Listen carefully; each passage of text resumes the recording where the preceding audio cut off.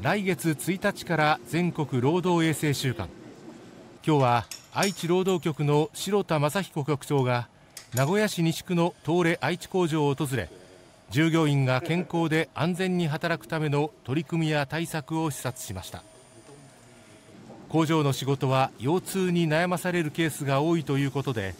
この工場では7キロほどの資材を腰に負担をかけずに運ぶことができる楽々ハンドという機械を導入するなど対策が取られていました。